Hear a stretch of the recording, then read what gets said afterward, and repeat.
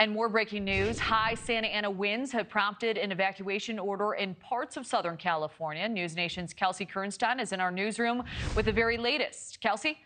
Kelly, fire officials are now calling it the Highland Fire, and it is blowing its way through rural parts of Southern California. The fire started on Monday afternoon in the dry and brushy hills of Aguanga, California. It forced 4,000 people to evacuate their homes. You're taking a look at some footage there now. This wildfire is fueled by powerful gusts, scorching more than 2,300 acres of land and destroying three buildings so far. Neighbors say they've never seen a fire like this. That hill right there that you could see behind me has never burned as long as we've lived here.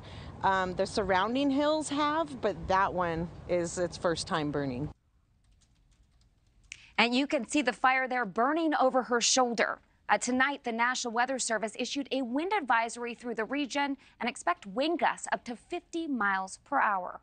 Kelly? Some incredible images. All right, Kelsey, thank you. Thank you for watching. Go to newsnationnow.com to find News Nation on your television provider. And don't forget to click the red subscribe button below to get more of News Nation's fact driven, unbiased coverage.